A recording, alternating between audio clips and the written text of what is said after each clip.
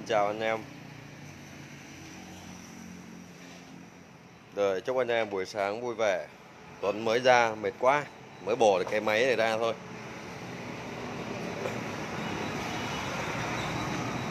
Và khi bổ cái máy thì ờ, cái này đơn giản. Đúng không ạ? Cần một cái cà lê T8, T10 Cái búa cao su Búa đóng Và một cái ti phuộc chúng ta cắt Cắt cắt ở cái lỗ này, cắt khúc thôi. Rồi. Một cái bít đóng. Một cái tô bít dẹp để mở tăng cam lên. Và một cái bít dẹp to. Đấy. Phần này là sau động cơ. Đúng không ạ? Hai, bốn, sáu, tám món. Rồi, nhớ cái mũi 4 ly này nữa. Để mở hai cái lục giác của bánh cam rồi, kèm theo một cái tip 14 nữa để bán bốn con ốc đầu. Thì cái phần này mình sẽ chia sẻ trước cho anh em. Có nhiều anh em lắp và tháo vẫn hơi bị cực. Xong cái phần động cơ, mình sẽ chia sẻ anh em phân tích dữ liệu. Con Novo 5 này mới gác máy xong. Mệt quá cả nhà. Lưng đổ đau nhức mỏi Rồi, Tuấn sẽ dùng nhờ cái cam. Nhờ cái cam nó trợ giúp cho mình một chút xíu nha lúc này điện thoại, hết pin. Tính chờ sạc pin xong thì mới trẻ máy nhưng lâu quá. Nha khi nữa, tí nữa lại bị mắc công việc. Thì đây là một cái đầu bò. Một cái đầu bò. Ok. Đó, một cái đầu bò. Ok, rất bình thường. Chúng ta tháo ra nhẹ nhàng. Còn tất cả tháo rất bình thường và đặc biệt nữa, có nhiều anh em tháo cái bơm nước này rất chật vật. Đây, một cái bộ bơm nước này các bạn chỉ cần tháo đơn giản như thế này thôi, không cần phải mở nhiều. Hai con ốc 6 ly T8 ba con ốc 6 ly T10 các bạn lấy ra thì đương nhiên nó sẽ nằm ở trong này mà. Thứ nhất đấy là ở trong này người ta lại dán một lớp keo. Và đồng thời nó mắc cái cộng xin ở đây, nên nó rất bót nên các bạn lấy làm sao nhẹ nhẹ. Nhiều các bạn đục nó bể cái này luôn. Tránh tình trạng. Đấy là một cụm các bạn lấy ra nó đơn giản như thế này. Bóp phanh lại chúng ta đưa lên và lấy ra. Bởi vì xe nó mới ống nó còn rất dẻo. À, không phải xe nó lâu rồi lâu rồi thì ống này nó có thể nó bị chai và chết. Thì ống này nó còn rất mềm dẻo. Thì chúng ta lấy ra nhịp nhàng thế này. Không cần phải mở quá nhiều và các bạn hạn chế những cái xe đời cũ mà các bạn mở những cái phanh ở đây. Có thể nhiều cái van hàn nhiệt này này ở đây hai cái đầu nó lâu ngày nó bị giòn nó bị mục các bạn mở ra nó bị gãy cái van hàn nhiệt này luôn. À, đấy các bạn hạn chế mở ở đây. Đây một cụm này. Tí nữa các bạn và anh em lắp vào nó cực kỳ nhẹ nhàng thôi. Được chưa? Đấy tôi sẽ quay cái để đây cho anh em cho anh em thấy rõ này do này pin điện thoại hết. Không thể nào làm clip cho anh em được. Rất mong anh em thông cảm nha. Vẫn bỏ đây ghế này cho nó ok. Lấy ghế này ngồi cái đã đó. Đấy là nguyên một cụm uh, bơm nước. Các bạn chỉ cần tháo 5 con ốc thôi. 2T8 2T10 thì đầu tiên nó nằm ở trong này và các bạn, khi các bạn lắp vào ấy, các bạn đừng có ép mạnh các bạn nhìn thấy ở trong này cốt cam không? Nhiều các bạn, Tuấn chứng kiến, nhiều anh em thợ lắp xong, xe không đề được. Tuấn chứng kiến luôn rồi. Và mang qua cửa hàng khác thì người ta sẽ lấy các bạn một cái giá phải vài trăm, phải vài trăm. Bởi vì cuộc sống mà, các bạn làm không được. Thì các bạn phải đi cầu cứu thôi. Những trung tâm thành phố nó sẽ lấy tiền của các bạn này mấy trăm ngàn ngay đây, các bạn thấy nó xẻ ngàm không? Ở trong bánh cam. Nha. Đấy. Rồi. Lắp vào thì các bạn lại lắp lại không vào cái chốt này. Nên các bạn cố gắng ép. Ép. Đó. ép mặn thì đương nhiên nó sẽ tòi ra bên này. Đây, ở trong này có viên bi nhá. Bi này để, bi để nó quay cái cốt quạt bơm nước. Ở trong này chỉ có cái quạt bơm nước và bộ phốt và ổ bi để cho chạy. Thì các bạn ép mạnh quá vào đây, nó không vào cái ngàm này thì đương nhiên cái cốt này nó sẽ tòi qua đây. Và đồng thời cái quạt nó bị cấn ở đây, thì đương nhiên động cơ sẽ bị bó. Thì các bạn phải lừa vào. Đầu tiên các bạn vô cái này thì các bạn bôi cho Tuấn miếng miếng nhớt để bôi trơn. Và vô cái này thì các bạn phải lắc nhẹ là nó vào. Cái này chưa bôi nhớt, Tuấn xin phép lấy miếng nhớt nhỉ. Cái này thì nó nhỏ nhoi thôi, nhưng nhiều anh em vẫn chưa biết thì chia sẻ luôn.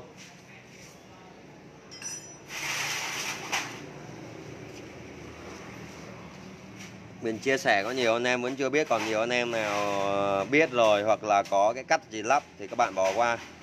Bây giờ mình sẽ để bô cho anh em thôi. Đấy, đúng không ạ? Chúng ta đưa vào. Trên này cũng vậy.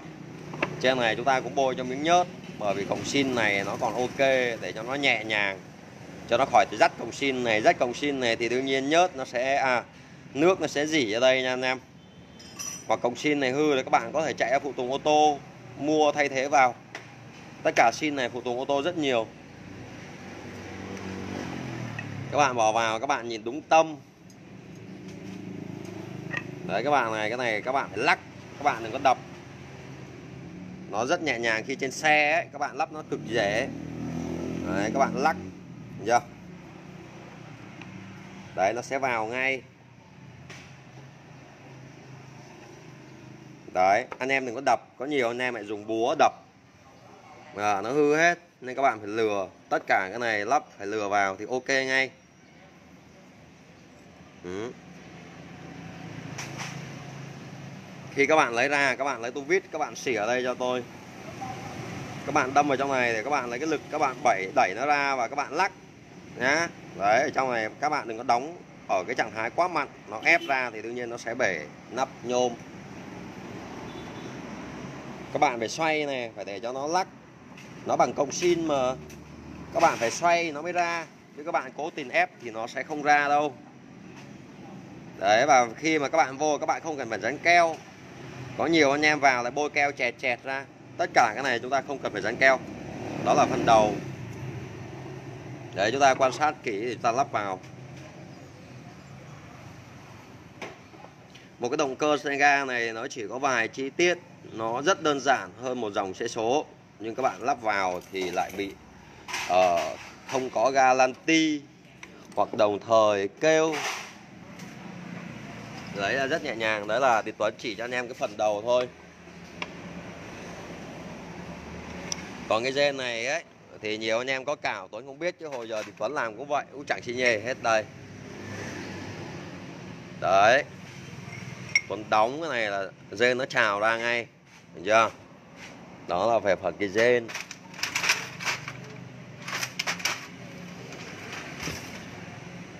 và đặc biệt nữa ở trong này nó có cái này nhiều lúc các bạn làm rớt này. Các bạn vô tình làm rớt. Cái này để nó đây. Các bạn có nhiều các bạn lấy ra các bạn là làm rớt. Nó nằm bên uh, mâm điện. Đúng không ạ? Đấy để nó ép. Để đồng thời này. Đấy ok nó giữ cho cái bizen ok nha. Đấy gọi là lực ép. Nên nhiều lúc các bạn lấy ra các bạn lại làm mất đấy nó rất dễ rớt. Đặc biệt nhiều anh em ờ, học nghề đấy. Đấy bây giờ nó không rớt này nó trơn nó sẽ rớt. Và khi chúng ta lắp vào thì nó bị mất và chúng ta vô tình chúng ta đi kiếm thế thôi. Để cái clip video này tí nữa Tuấn lắp động cơ vào thì, thì Tuấn sẽ hướng dẫn cho anh em. Nó có vài chi tiết này thôi không có nhiều trên con xe này thì đương nhiên chỉ có hai chi tiết này là quan trọng. Ngoài đi cái kia nó ốc, nó lòi hết ra cho anh em rồi. Không còn cái gì cả. Rồi, cái này để bắt vào cây thần lằn bằng cái định tâm. À, Ago thế thôi. Còn ngoài ra đấy, một cái động cơ tháo ra nó chẳng có cái gì. Xe ga mà. Xe ga nó chỉ có cái tay gen thôi cây gen, quả bít tông, lên đầu, hết. Còn cái gì các bạn lắp không ạ? Còn cái này nó bị nít ở đây. Thợ hàn nó chưa có đi về. Thợ hàn cái này thì hàn, cái này ở đây có nhiều thợ, rất nhiều thợ hàn, nhưng người ta hàn chưa tới. Có nghĩa là sao? Bởi vì ấy, hàn cái này ấy, thì anh em phải dùng nhiệt và anh em phải biết hàn, có nhiều thợ ở đây người ta chưa móc cái này. Móc cái này chưa tới này, nó bị nít. Chúng ta phải móc móc sơ đi một cái xong chúng ta phải hàn hàn nhôm chúng ta phải hàn để sao để nó nó tới. Có nhiều anh em hàn như kiểu hàn trì vậy đấy. Hàn nó chưa tới thì đương nhiên khi mà nhớt trong này nó vẫn ngấm ra được. Đấy, cái này chúng ta phải móc qua một lớp và chúng ta sẽ phải hàn nhôm non vào. Và để cho nó chảy đều ra thì nó mới thành công. Ở đây có rất nhiều thợ hàn cứ phải tháo ra và lắp vào đồng thời để đây thì nó không dỉ đâu nhưng lắp vào ở trạng thái động cơ nóng nhớt à, được đốt lên thì đương nhiên cực là lòa thì lúc này nó sẽ bị dị. Đấy nó sẽ bị dị nên ở đây thợ hàn ở đây rất hiếm. Chứ nhiều lúc người ta hàn xong người ta thử xong thì người ta bảo ok đấy. À, nhưng khi động cơ nổ ở trăm độ C chạy liên miên liên miên như vậy. Chạy ở một cái đoạn đường quá dài thì nhớt lúc này nó sẽ rất lỏng đi. Bởi vì động cơ đốt cháy mà. Thì lúc này nó sẽ bị dỉ ra lại. Nên cái này này, thợ hàn rất quan trọng. Ở đây 10 ông thợ hàn thì khoảng một ông thợ hàn hàn được. Còn mấy ông kia thì vứt. Đấy, cái này chúng ta phải móc. Đưa máy kho vào. Chúng ta phải lấy tăm nhọn chúng ta phải móc theo cái đường dãy này. Nó như kiểu hàn nhựa đấy. Móc. Đấy. Móc có khoảng gần nửa cái lốc này không. Cái này chạy chạy vòng vòng đây này không có phải đi quy nhơn chạy vòng vòng cái tư này em. Quải cái tư này tổng á đấy nó rất quan trọng ở vấn đề này. Còn để lắp cái cây gen này thì nó có nhiều kiểu lắp lắm. Một là các bạn khò như Tuấn ở đây thì lại không có tiền để mua cái máy khò được Tuấn ở đây thì chưa có tiền mua máy kho, nên đôi khi có hai cách lắp. Một cách là ép gen về bảo thợ tiện nó tháo bên pin này rời ra. Các bạn về nhà vô vô không bên pin này. Rồi còn một kiểu lắp nữa thì các bạn đóng bên pin này vô tay gen luôn. Rồi các bạn ép nhẹ vào. Còn nhiều cách lắp nữa bên này các bạn đổ một cái cào Đúng không ạ các bạn phải siết nhưng để viên pin này nó phải ngấm đều đều. Nó như kiểu đóng chén cổ vậy khi các bạn bỏ viên bi vào mà các bạn cào bị lật thì đương nhiên nó rất nặng. Nên các bạn phải dìu làm sao viên bi này nó vào thật đều. Còn Tuấn ở đây thì đa số đóng bi thì cứ kiểu như thế này thôi. Đấy, lấy viên bi về, phà vào đây. Tí nữa chỉ bỏ cái gen vào là xong. Bởi vì giữa cái lốc này và cái lưng bi này nó bót hơn là cái bi gen này mấy cái cái gen. đúng không? Đấy. Thì mỗi người có một cái lắp. Đúng không ạ? Người này lắp kiểu này, người lắp kiểu kia, tùy theo. Cái này thì nó ok rồi. Rồi một cái động cơ Sega nó chỉ có đơn giản như vậy thôi. Cái này tháo trong vòng khoảng 15 phút. 15 phút thôi ạ.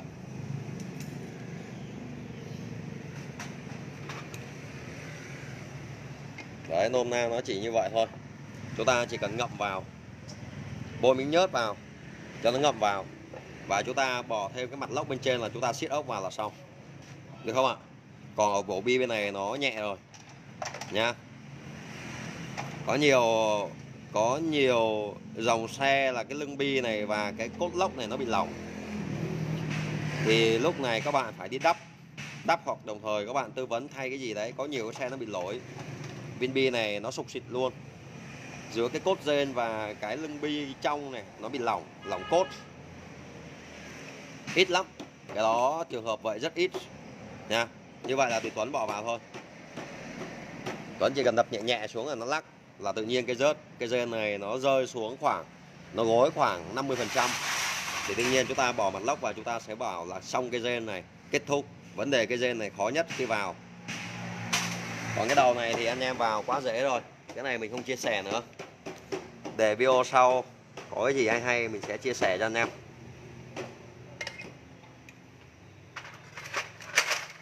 Rồi, cái này chút xíu nữa chúng ta chỉ cần xịt và lau sơ qua. Cái nào nó dơ quá, chúng ta lấy miếng xăng rửa và chúng ta cứ thế là chúng ta đẩy vào. Đồng thời chúng ta muốn ký nữa thì chúng ta lại tháo ra sai số bắp. Thì cái này làm cho anh em.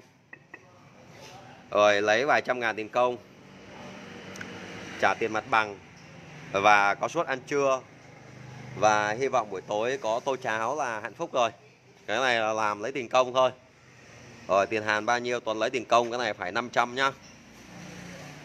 Khi mà Tuấn hạ và ráp một cái động cơ như thế này anh em thợ là phải 5 lít thì mới lắp. Có mà 480 ngàn thì cũng không lắp, nhất định sẽ tí nữa tẩy rửa cho anh em cái lốc này nó sáng như này luôn. Hôm qua mới tẩy sơ sơ, xe này rất heo đây nó bám đất. Và đồng thời sẽ tẩy cho anh em cái lốc nó trắng như này, về zin này. Nhôm. 500k có rẻ không anh tay ga xuân dần?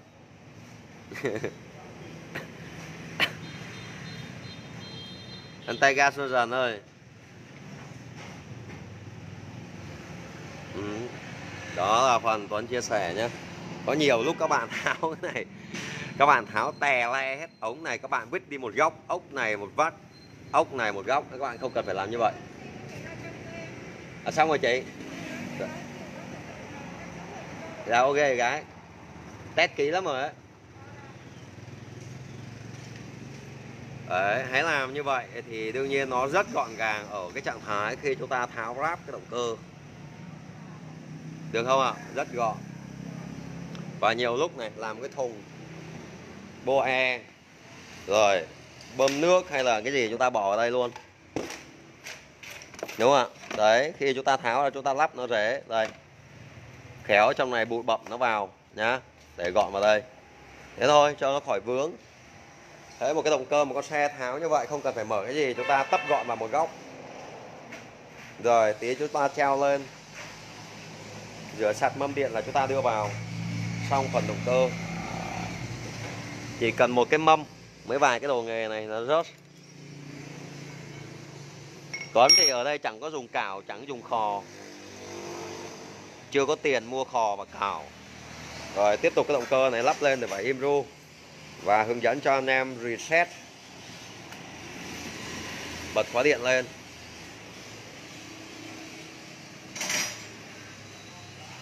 Rồi, chúng ta bấm ok, chúng ta chọn IA Enter chọn tới dòng No SX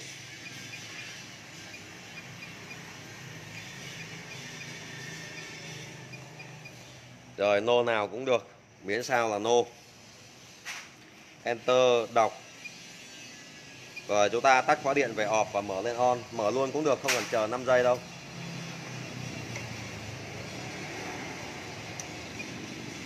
Rồi, lỗi 12 1 trên 4 đó, lỗi này lỗi quá khứ trục cơ. Rồi TBS lỗi 15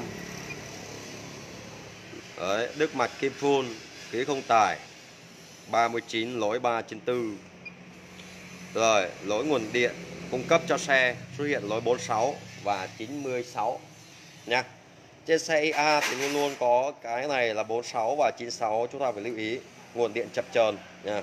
Rồi chúng ta sẽ đồng thời thoát ra. No xóa reset. Ok ok. Tắt khóa điện, mở lên on. Rồi, bấm. Đang làm việc. Rồi mã lỗi đã được xóa, ok. Vậy bây giờ chúng ta sẽ nổ động cơ luôn.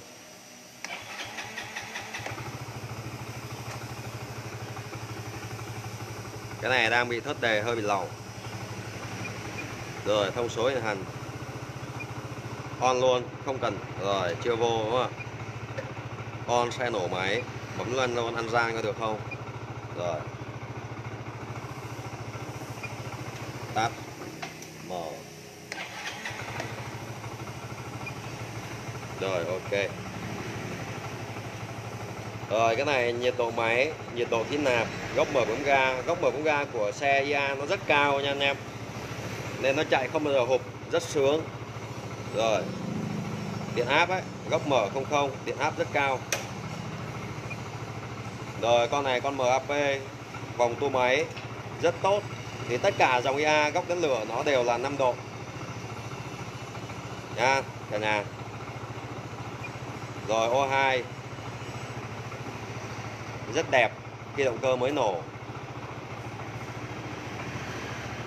Rồi ắc quy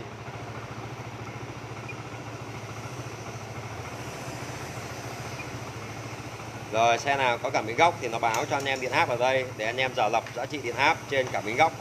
Cảm biến góc nghiêng ấy. Cảm biến góc nghiêng ở đây là những cái dòng mà Edside nó báo khoảng 500 mV. Thì các bạn giả lập cỡ khoảng 1V nhá. 1V nó cũng nổ, hơn 1V cũng nổ. Bởi vì IC cung cấp nguồn 5V cho cảm biến góc và cảm biến góc phải cung cấp lại, ngược lại cho IC khoảng 1V. Còn thông số chuẩn nó là nửa V nha anh em. 500 rồi, nó chỉ là thế thôi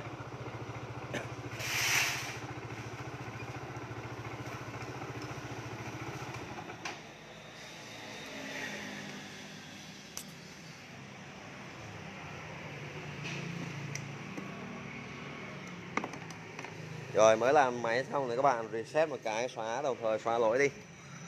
Rồi, con này lắp nốt rần nhựa vào nữa và đồng thời bọc cái yên nữa là dao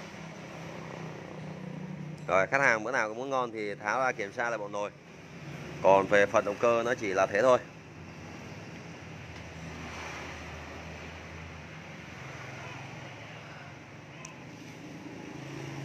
Em toàn dùng búa tạ. Ok, em tay ga xuân dần. Đó ăn thì có sức khỏe tốt thì ăn dùng toàn búa tạ. Em thì đây sức khỏe nó hơi bị đau lưng nên em dùng cái búa nó hơi nhỏ chút. Ăn tay ga sơn dần thì chơi toàn là búa to, cho nó loạn hết. Yeah.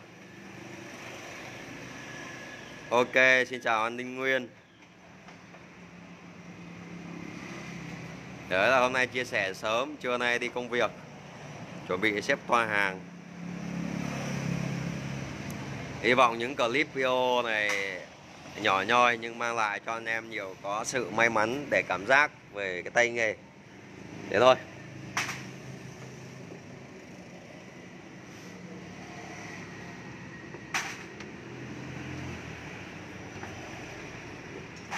Rồi, cái này là chia sẻ cho anh em khi mà xúc bùng đốt nhá. Xúc bùng đốt cái này là chia sẻ luôn này. Được chưa? Các bạn bây giờ dùng cam. Các bạn soi vào cái lỗ buji này. Để các bạn nhìn được quả bê tông này Nó có đóng khói hay không? Đúng chưa nào?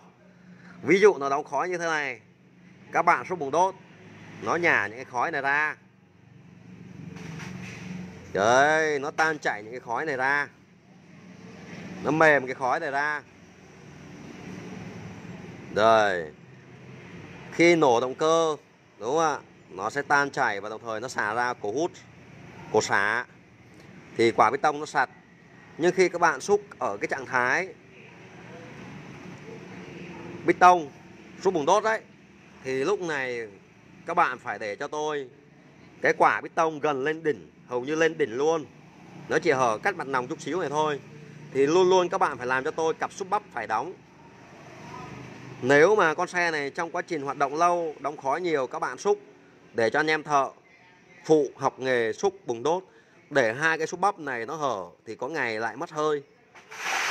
Với theo tôi thì xúc cái bùng đốt này thì nó chẳng liên quan gì tới động cơ cho nhiều. Quan trọng là hai xúc bắp này nó có kín hay không. Để hai xúc bắp này sạch thì cực kỳ là khó. Chẳng qua nó sạch được quả bít tông. Còn cây xúc bắp lửa và cây xúc bắp xăng Thì hầu như khói vẫn đóng ở trong rất nhiều. Được chưa? Cái này là tôi chia sẻ cho anh em thợ luôn. Và cái xúc cái buồng đốt ở đây Thì xe nó phải còn mới. Xe mà chạy vài chục ngàn rồi Mà xe ít bảo dưỡng, Quả bít tông nó đóng khói Thì có ngày các bạn, ăn hẳn. Bởi vì một con xe các bạn mang vào ở trạng thái nổ bình thường. Các bạn tư vấn xúc buồng đốt, Động cơ. Xúc xong ra để sạch sạch sạch sạch sạch sạch sạch mất ta tụt hơi. Tụt hơi có nghĩa là sao? Nhiều cái cặn bẩn ở đây, nó đóng ở trong cái xúc bắp lửa, thì đồng thời xúc bắp lửa sẽ bị cân nhẹ và đồng thời bị mất hơi. Thì lúc này chúng ta sẽ tháo ra làm gì? Bổ máy à? Ok. Đó là góc chia sẻ cho những anh em nào hiểu sâu nhá. Rồi và tay nghề anh em nào còn còn ít va chạm. Thì đây là chia sẻ để cho anh em khỏi lên mạng để xem mới bố chém gió xúc cái bùng đốt. Nội soi, camera trắng như ngọc trinh động cơ tăng tuổi thọ.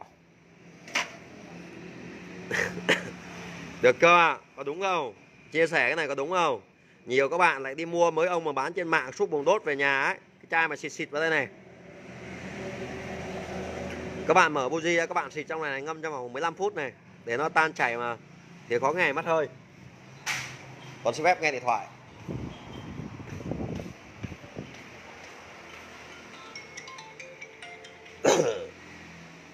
Anh em ơi.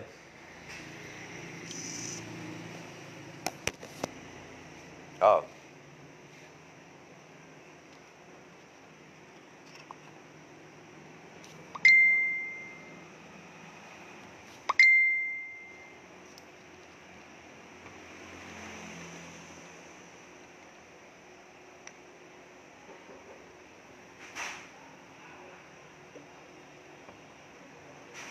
cái van nó trục cái van hàn nhiệt à?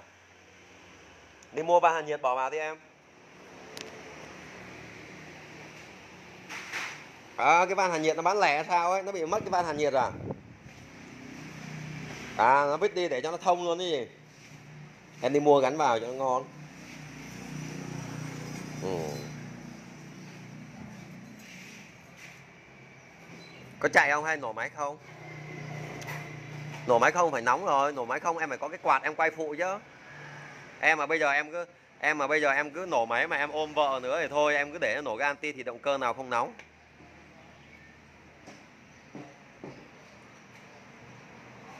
Ở đây đi kiếm cái van hàn nhiệt vào, không có lấy quạt quay vào, phải có quạt phụ chứ. Nó nổ động cơ, nó đâu có chạy đâu mà gió vào, nó nóng lắm. Lấy cái quạt, ngon nữa thì mua quạt nước khoảng 4 triệu cho nó mát.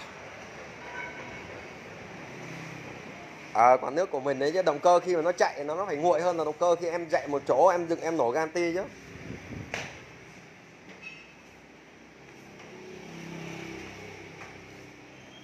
Nó đơn giản như em ngồi một chỗ mà không có quạt nó nóng bây giờ em chạy đi một cái nó mát hơn không? Đúng không? Ờ ok. Thay thay thay cái van này kiểm tra kỹ lại.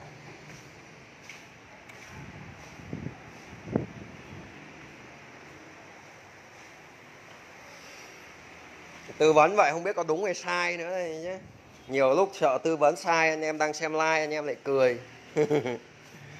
Uống nước ngọt, bận lắm anh ơi. Uống có chút xíu à? Uống cho nó nhấp nhấp cái miệng tí cho nó ngọt ngọt.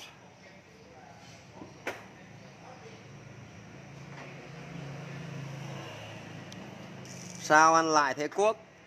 Lại thế quốc là dân ra ngoài thì chém ra gió vào trong thì bảo gì nghe đấy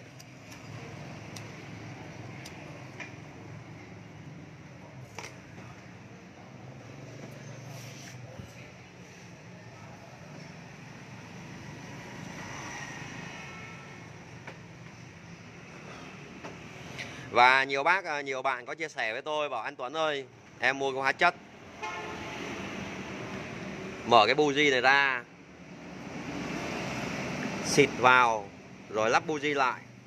Ngâm cho vòng 15 phút, mở buji ra đạp. Các bạn đạp xả và đồng thời lắp buji vào, nổ động cơ, làm đi làm lại khoảng 3 4 lần. Các bạn bảo làm như vậy xong ra xe chạy nhẹ lắm. theo anh em thì có nhẹ không thì, thì Tuấn chưa có cảm nhận về nhiều có nhiều bạn bảo xúc xong bảo ra xe chạy nhẹ lắm nhẹ cái này thì yếu tố như thế nào thì Tuấn chẳng hiểu bởi vì nó không thay đổi. Quả bê tông vẫn như nguyên nén hút xả vẫn như nguyên. Nhưng các bạn lại bảo chạy nhẹ thì, Điện Tuấn cũng chẳng biết là nó nhẹ chỗ nào. Hay là các bạn xúc như vậy quả bê tông và cái nòng nó giá nó to đương nhiên nó hút vào nó nạp ra nó nhanh hơn thì Tuấn không biết.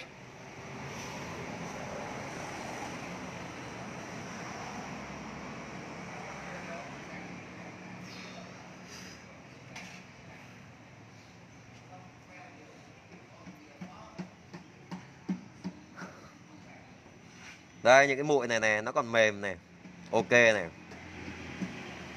nhưng quan trọng là hai cái xúc bắp này hút xả nó phải sạch. Các bạn làm sao mà làm sạch vào trong này được? Trừ khi tháo ra.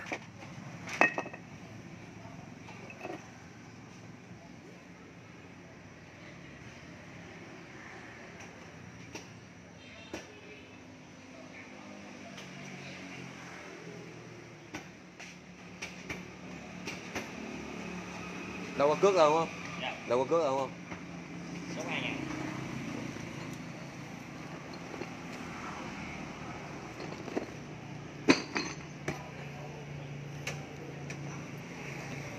À và thông báo anh em gửi đồ cho Tuấn gia công thì anh em phải trả cước dùm nhá.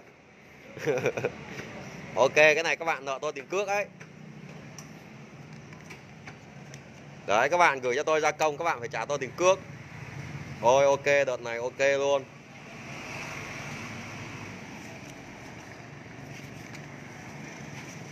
Số hai.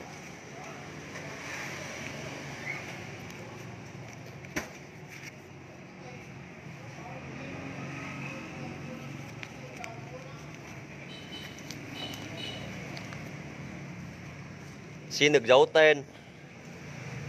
Các bạn này, các bạn này gửi nồi cho tôi gia công. Ok, cảm ơn anh em. Tí tôi đổi bù cho các bạn luôn. Các bạn khỏi cần chở, Chỉ cần các bạn quay đầu gửi ra Và tôi quay đầu gửi ra lại. Gửi vào, tôi gửi ra ngay. Đổi, xác.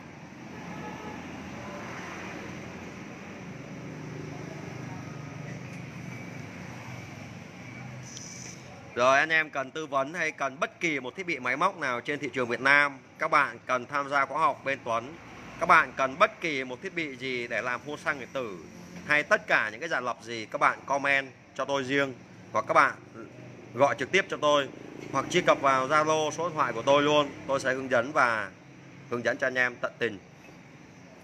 Đặc biệt nào trong ý chí của anh em nào có nhu cầu muốn đang có nhu cầu mở cửa hàng các bạn cần tư vấn gì, các bạn cứ inbox cho tôi. Hiểu không ạ? Các bạn cần bất kỳ một thiết bị gì về FI hay máy chuẩn đoán, các bạn cứ comment và inbox.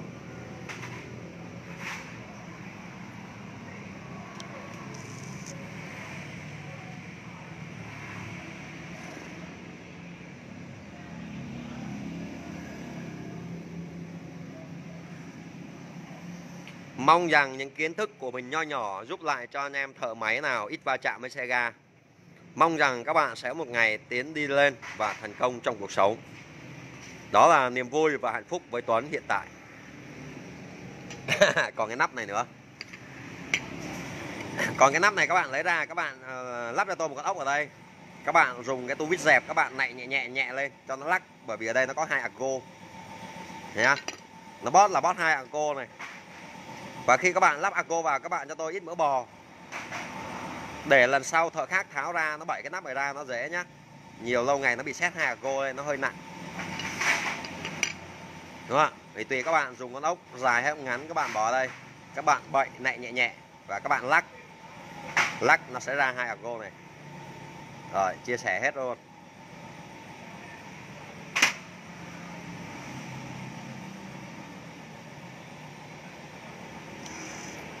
Rồi thì bây giờ Tuấn phải vào đóng toa. Để cho chiều xe lên đường.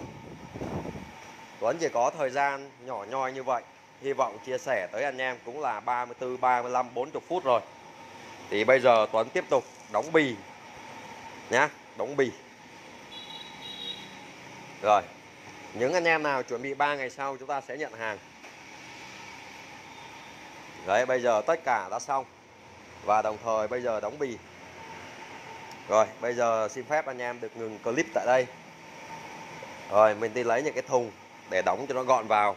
Và đồng thời à, bên à, uh, shipcop người ta sẽ qua người ta đồng thời lấy hàng. Và ba ngày sau anh em sẽ nhận những lá phiếu trên tay rất nhiều. Hy vọng ba ngày sau thôi. Ba ngày sau anh em sẽ nhận được hàng của mình. Rồi xin chào và hẹn anh em clip video đợt sau. Chúc tất cả anh em có một ngày làm việc tràn đầy năng lực, hạnh phúc trong cuộc sống, có thu nhập cho cửa hàng, chiều có tiền đưa chị nhà. Lời chúc nhiệt tình nhất từ tận đáy lòng của tay ga điện tuấn gửi tới tất cả anh em thợ máy trên toàn quốc. Rồi, xin chào và bye bye.